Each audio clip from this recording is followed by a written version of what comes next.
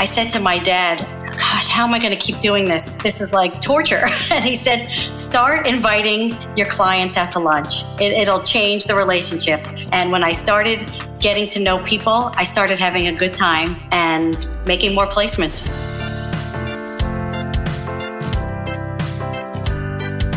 Welcome to the Resilient Recruiter Podcast. This is your host, Mark Whitby.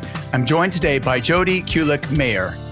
Jody Kulik Mayer is the founder and president of Clearmont Technologies, Inc., a WBENC certified women's business enterprise. As an IT staffing veteran since 1992, Jody has placed hundreds of IT people, both as employees and consultants, at companies in the financial, consumer product, nonprofit, and e commerce industries. Many of Jody's clients have worked with her since the beginning of her career. In fact, many have been candidates she, she placed who later became clients. Jody is also the host of Tech Talent Today, a podcast providing fresh ideas and inspiration for IT professionals to help them propel their career in tech to the next level. Jody, welcome. Thank you so much for being here. Hi, Mark. Thanks so much for having me. My pleasure. I am looking forward to this. So, Jody, I know you've been in IT staffing for a long, long time and you've been extremely successful at it. I understand that you've grown your account to 80 IT consultants on billing at a staffing firm, which uh, is quite mind boggling. Could you talk me through how you accomplished that? Sure, Mark. Uh, I am very proud of it, but it was a long time coming. It wasn't in like the first years of my career. It came about at, I think it's the third company that I worked at. And I was watching to see the other uh, people who had a lot of consultants on billing. How did they do it? And they would have one main account where they could have 50 or 60 consultants which is both good and bad because then if that count goes away, your business is wiped in a second. Um, so I saw there was one of the clients that had, um, they kept their consultants a really long time. It was a consumer products firm uh, in Long Island. And I said, I'm going to concentrate my time there. And they just happened to be doing a um, a vendors list review. So I said, I'm going to try to get on the vendors list. So some of it was good timing. You know, we uh, pitched to get on the vendors list. They they liked us. They liked that we were a Japanese owned company. They were also a Japanese company, and we got on the list. And then I pretty much moved in there. I was there uh, once a week, getting to know everybody. I came a part of the landscape and that was probably the key to getting the consultants on billing there. So I probably had about 60 on there and then 20 at other places. Great. So let, thanks for sharing that. Really interesting. Let me back up then a second. So I should have probably asked you a little bit about your career in the first place. So this was you'd already been ex- an experienced recruiter for a while. It's not like you were an overnight success. But um, so you knew what you were doing, and this was your third company where you were able to build that number of IT consultants on billing. Um, in terms of, first of all, you identified the company that you thought was a good prospect and you one of your criteria was they seem to keep people a long time which is interesting. Could you say more about that? Right. I think that's harder these days because okay. um, in the United States, you know, the IRS is very interested in who is a consultant versus who's an employee. Right. So some uh, companies don't want to keep their consultants a long time. They have like 18 months uh, tenure where somebody has to at least, I think, be out for six months or a year. But at that time, th- that wasn't an issue. And some companies still don't follow that. And that's a good place because otherwise you just have a lot of churn where you're placing people, but you're not growing. Okay.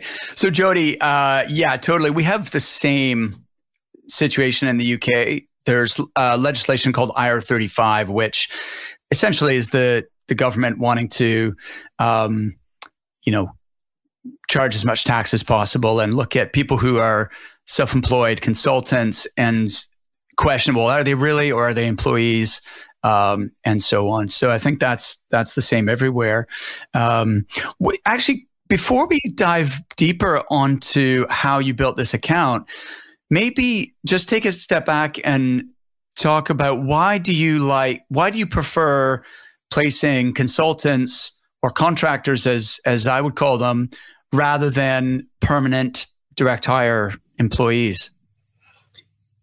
Well, there's two reasons that I prefer consultants. Uh, I always say it's like dating versus getting married, right? it's much easier to just say yes to a date than to say we're going to get married now. So the whole consulting process can be very fast. Like within a week or two, the person can be working. So I did like the the quickness and um, of the whole process, and uh, I also like the um, recurring revenue. Right. So when you build a stable of people, every month you have money coming in. So when times are tough, you still have that stable of people.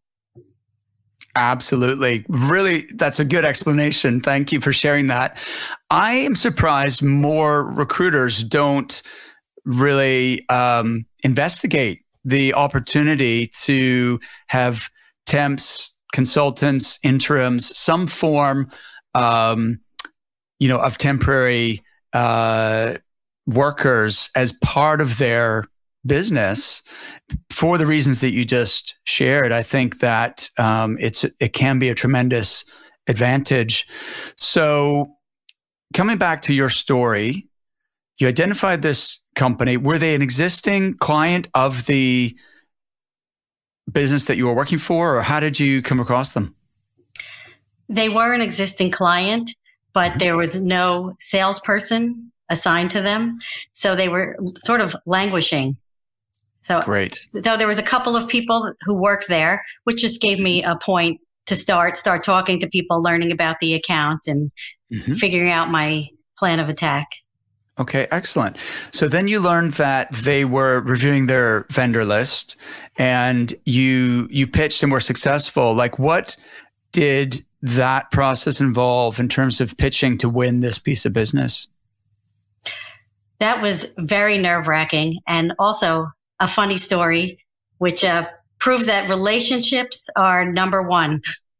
Um, so we had to make a an, an in person presentation of how we're going to support the account, and since it was a Japanese company, several of the senior managers were Japanese from Japan. So you always had to make sure that you didn't make a faux pas, like putting their business card in your back pocket or um, saying nice to meet you when you've already met them once, uh, because that's an insult. That means you forgot them. So you have the pressure of making the presentation plus keeping um, cultural uh, norms in mind for them. But I'm a very detailed person, so I'm bringing a lot of stuff with me because I'm, I'm leading the group. I have my manager there. The president of the company is with me. So I'm bringing like snacks and I'm bringing papers and I'm bringing also the, um, the assistants to a lot of the senior managers were working with me to get ready. So I brought separate food for them. I wanted them to have their own food.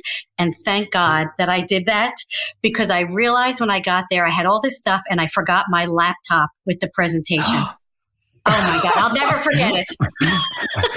and I'm right, I'm with my manager, I'm with the president of the company. I'm thinking, oh my God, I forgot my laptop. So I told one of the assistants, oh my God, I forgot my laptop. But this is after I have like food for them and everything, and I've developed a relationship with them. They got me a laptop. We got an internet connection. They didn't tell anyone. Nobody knew. so wow. So yeah. major panic. And then, oh my God. Fantastic. And so yeah. you're you were able to access your pre, your your pre, uh, presentation right over the internet. Someone else's. Wow, that's lucky. Yeah. Oh my and, goodness. Uh, so, talk to me about how you prepared for the presentation, though, because you know I've seen and and a lot of these types of pitches, and A lot of them just seem really boring to me, Jody, and not and and kind of like just going on and on about their company and their history and their capabilities and so on. What did you do that you think helped you to clinch the deal? Well, first, I wrote up the presentation and showed it to my contact there. And I said, Great. give me feedback on what we're going to talk about. Are there any questions that are missing? Um, right? Is anything extraneous?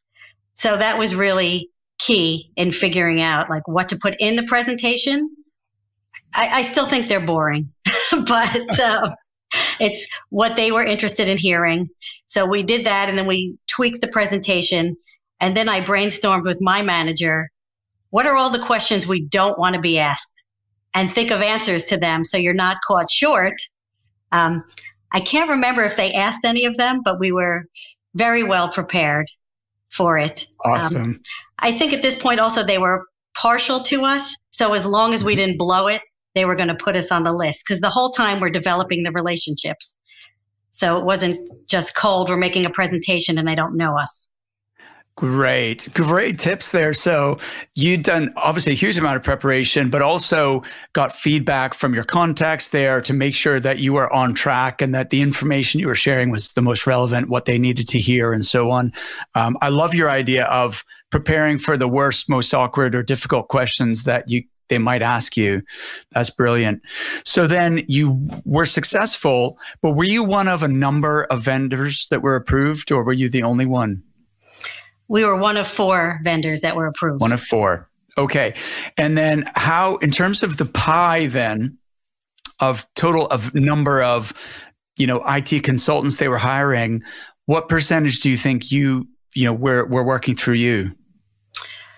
Um, I guess almost half. I think they had about 200 consultants. And yeah. so I don't remember exactly how many we had on at the time. Great. 60, 65, it changed over time, but we had a pretty decent portion of the pie. Great. Awesome. So you mentioned that you moved in there and became part of the furniture. Like, what could you describe what that involved? I would go uh, once a week and meet with the vendor manager. And when you meet once a week, there's not like so much business to talk about every week. So we became friends and we're still friends to this day. Um, oh, you know, cool. He's been at several clients, yes. And it, it's really wonderful. I think that's the best part of the business the relationships and the friendships that often outlast the business relationship. Wow, that's awesome. So, um, so you you we're doing these weekly reviews with them, which you know turned into also relationship building and and be, you know you got to know people personally. Um, what else do you think allowed you to be to over perform there and and get you know 60 people in one account um, we would have a monthly lunch at the client where all your consultants were supposed to come, but I would invite everybody. If people were passing by, the security guard, who, whoever was there, you know, I wanted to feed everyone. and it was a good time. It made the account like a really friendly place. So everybody would want to come by and get a plate of food and say hello. And they would always have some business to talk about. So you would learn a lot there. Plus, your consultants are the eyes and ears for you at the account. So uh, they, they would let you know what was coming up as well, or maybe things that were happening behind the scenes. So you really got a lot of intelligence. Beautiful. Absolutely. That makes a lot of sense. And you're, and a lot of companies focus on client well, not since COVID, but client entertainment, right, for your big accounts and taking them out to lunch or to events or whatever. But you're inviting your consultants along to that because if anything, they're a really important part of this equation too, right? So sounds like you're um, making sure to look after them at the same time. Any other keys to success, Jody? I think also um, the relationship is very key for solving problems because with people, mm. there are always problems that right. come up and trying to come up with like innovative solutions or just trying different things. So I, I think you're more successful solving problems when you have those base relationships and always being honest. Like think about what's best for the situation, not what's best for you as a salesperson. Mm, absolutely. Great, great point. Jody, how much, if you don't mind me asking, how much did that account end up being worth? I think it was about uh, 16 million in revenue. Wow. Per year. Per year. Yes. Yeah. Wow. That's amazing. Um, now you also mentioned that you didn't have all your eggs in one basket because you could see the risk of doing that. So you made sure to have consultants billing with other clients as well. Do you know how many kind of uh, different accounts you had in total?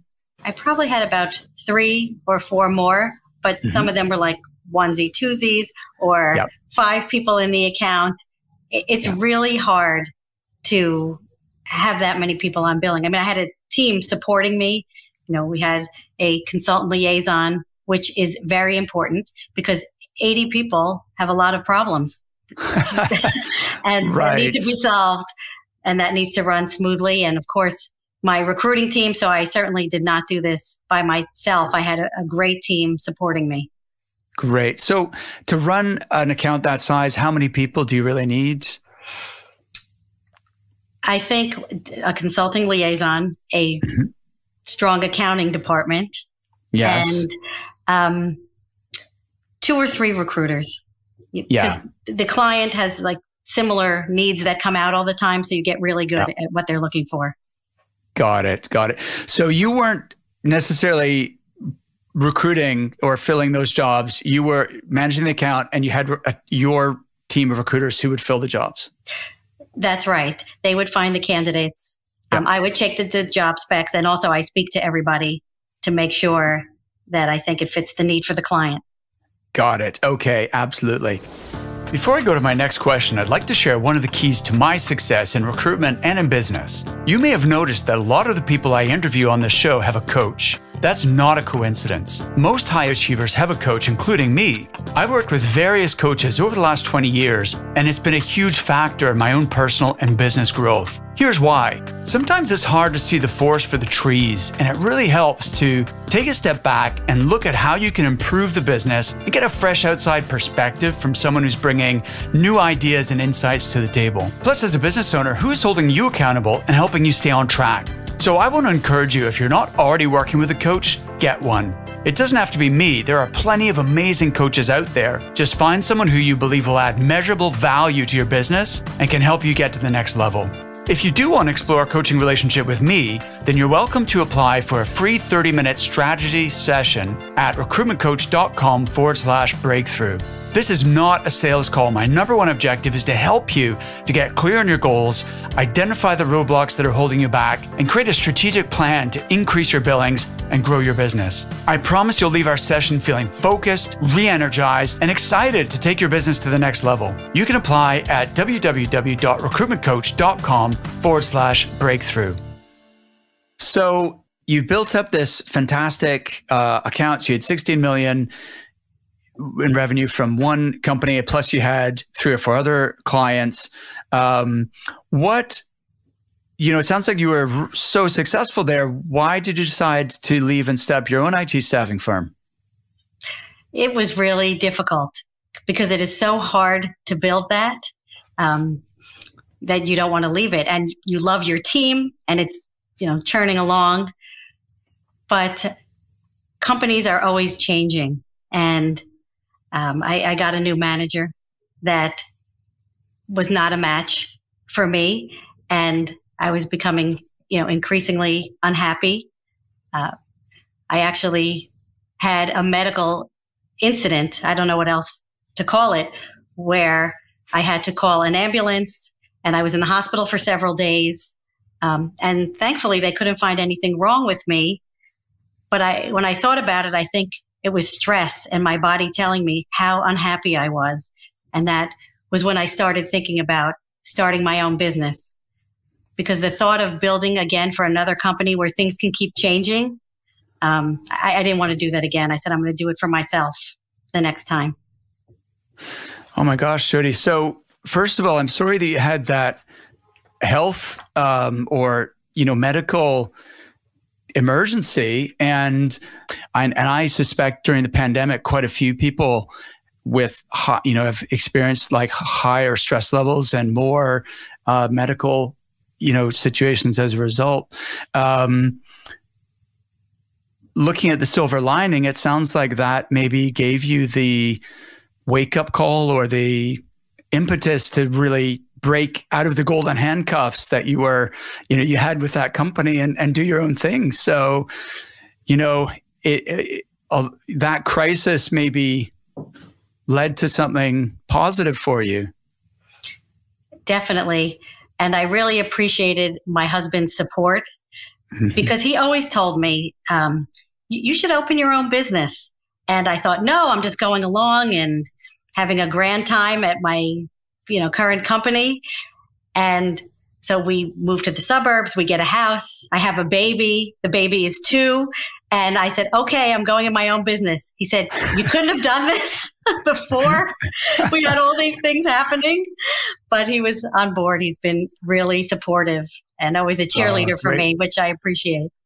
Fantastic. Yeah. Do you know what, though? There's never a right time or a best time. You know, you could always say, oh, well, you know, we have a new baby or we've just bought a house or the economy is you know, not as good or whatever the reason there's you know there's there's never a perfect timing so I'm glad that you made that. And how long ago was that, Jody? Eight years ago. Okay, great. Well, congratulations on eight years Thank you. in business, which is much longer than most businesses survive, unfortunately. Um, and especially with everything we've been through. Um, this is a burnout business, or, or it can be. Um, you've done it for 29 years. Um, how do you think you've been able to have that longevity? I think the key thing is definitely the relationships with people.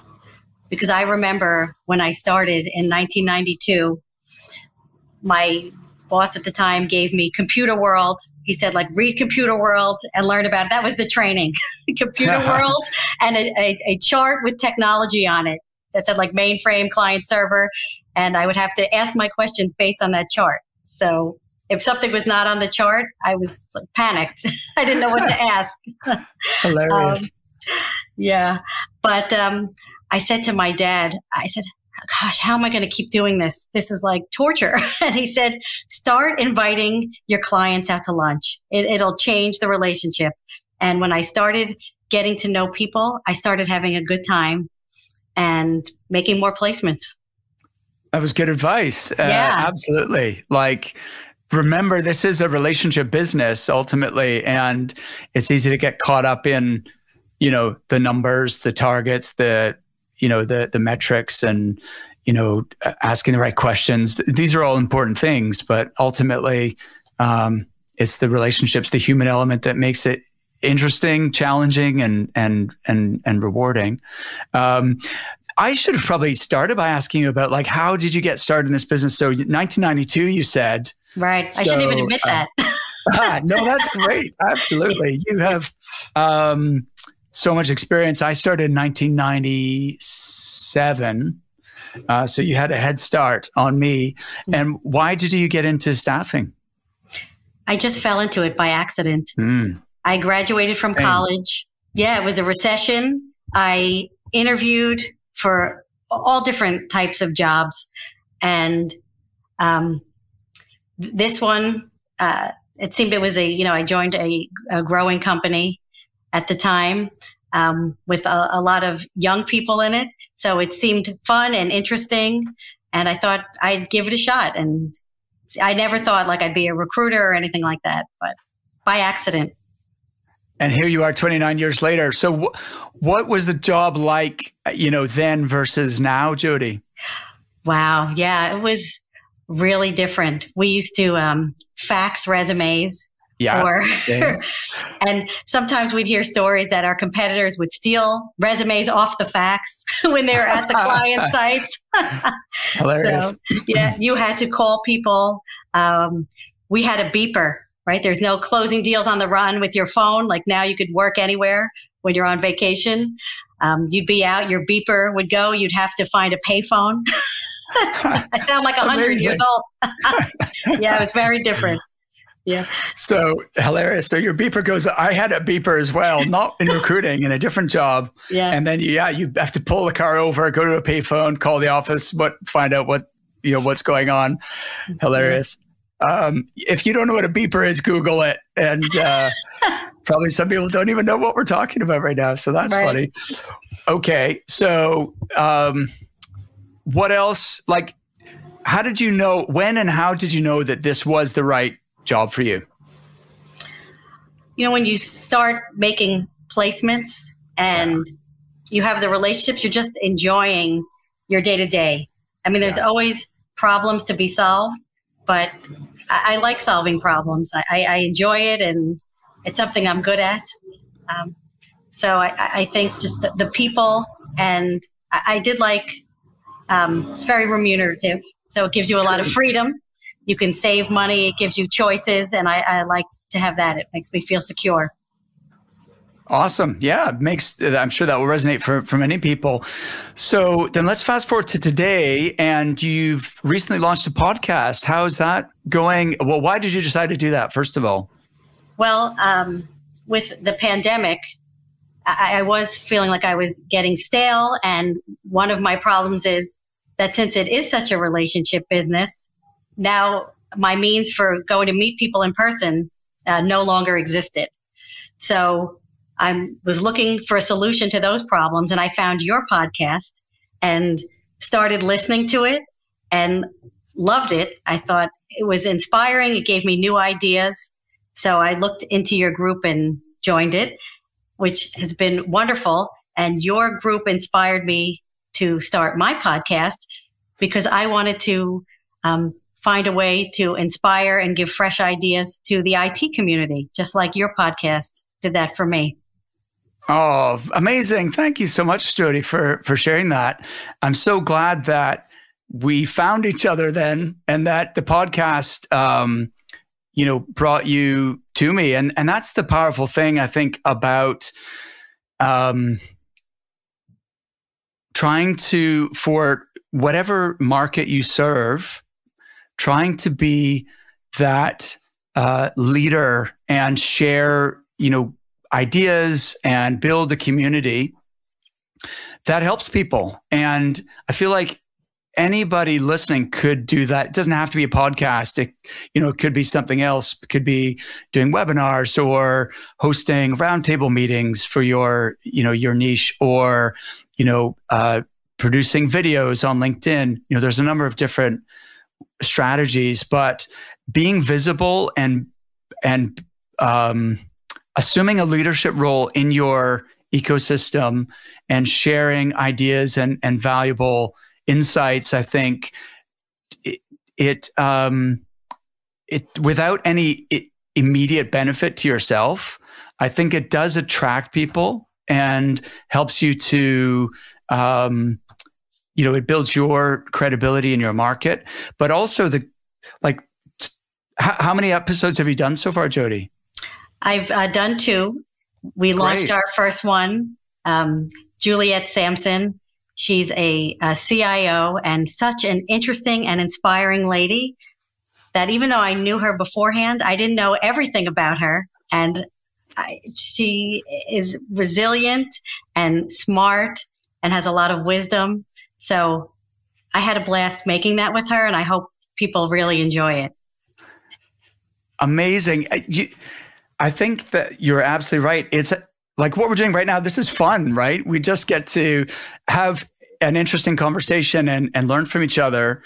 And so, even if it wasn't commercially beneficial, I would do it just for that reason. In fact, I was already like, I've been having these sorts of conversations for my whole career.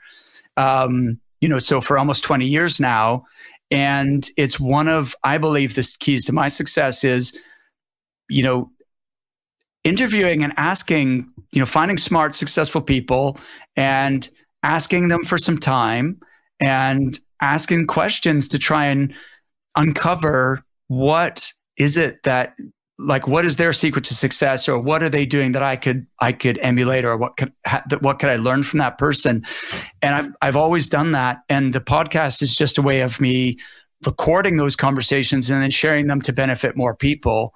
Um, but I really believe in the the power of having a mentor and of modeling successful people really. So you're my mentor as well Jody um, in that in that way. So I appreciate you.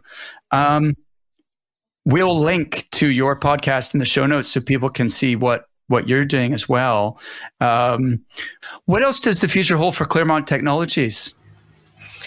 Well, we're going to continue uh, put, putting out our podcast. Our second one comes out on uh, August 19th, which uh, is with Art Fid, and he is a CIO at uh, reedsjewelers.com.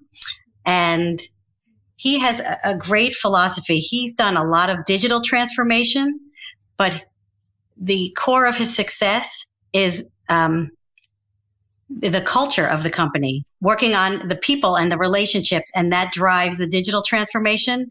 And it was fascinating to hear how um, he's been so successful. So I hope that will inspire other people.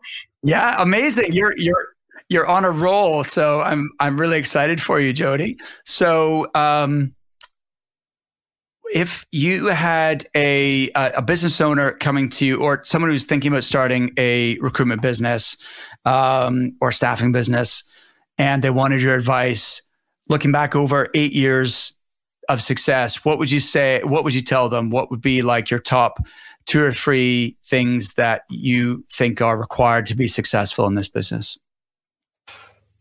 I think for sure, n- number one is relationships. Um, I guess what's challenging when you first start a business, a lot of times you have a non compete. So the people you have the closest relationships with, you can't work with them for a year. You have to, you know, wait, wait it out. But um, if you have a very broad network, uh, you'll be able to grow your business there. And I think the quickest way to grow it is with people you know because uh, a lot of times my consultants introduced me into accounts. It's like a person vouching for you. And that was the quickest way in where you're not filling out a formal RFP. Awesome. So, can you say a little more about that? Is that something that you specifically encourage or you have a, a technique for? Like, how do you how do you get those referrals from your consultants? Well, uh, uh, when I would speak to people about you know what I was doing, starting my business, a lot of times they, they volunteered it. So I guess because I've given help in the past, right? Mm-hmm. They say, right, dig your well before you're thirsty. What is that, Harvey Mackay? so yeah, that's a good book. Um, is that? I think that's from Swim with the Sharks Without Being Eaten Alive or something like that. Is that? Yes. The guy yeah. we're talking about? Yeah. Yes. Yeah. Loved that book. And the Mackay 66 to know like 66 facts about your network.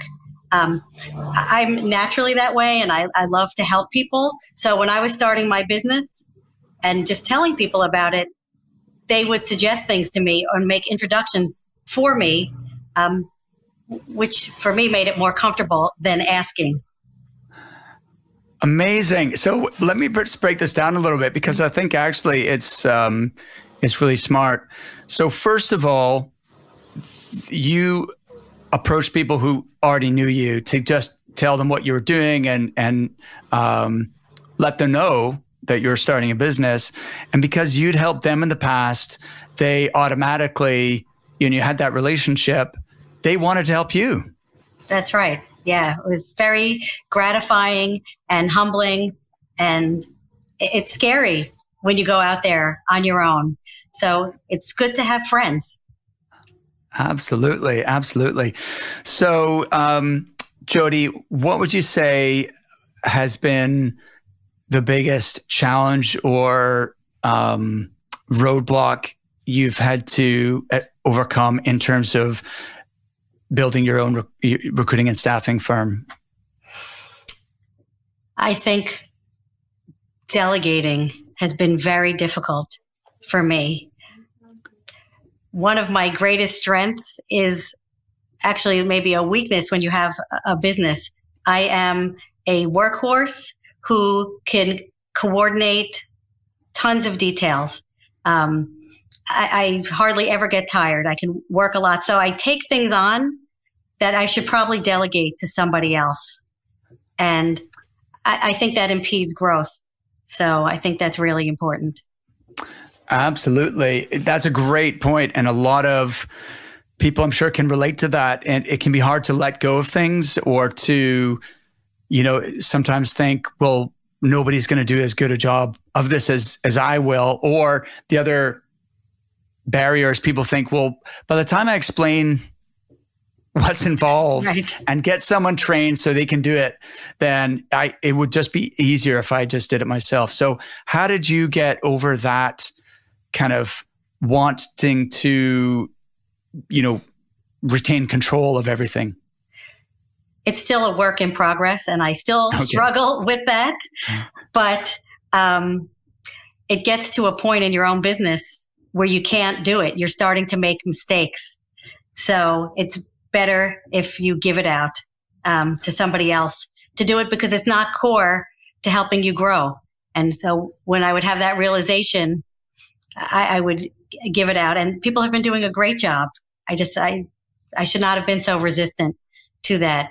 Um, also, a tip that I got from you, which has been very successful, is recording uh, Loom videos of what you want done and then you've explained it and a person can go back to it without asking you again. So that was a great tip from you. All right, amazing. Do you have a criteria for what sort of tasks, activities you still want to do personally versus what you think would be appropriate for somebody else to delegate to to somebody else? Well, I still love the business. So I love to talk to clients and get the requirements and work with my recruiting team and still speak to all the candidates. So that is very core because the whole thing is to place the right people in the positions. But any kind of coordination or social media or accounting, that should be delegated to somebody else. Makes total sense. You're playing to your strengths, doing the parts that you enjoy and you're good at, and which are core to you know, generating revenue. And uh, so it makes makes total sense, Jody. Listen, I've really enjoyed our conversation today. Thank you so much again for agreeing to do this. It was a great time, Mark. Thanks so much for having me. And uh, so, listen, I'm a fan of your podcast now, so I'll look forward to the next episode coming out. And um, yeah, let's let's touch base again soon and compare notes as to you know tips for being successful as a podcaster. That sounds great. Thanks, Mark.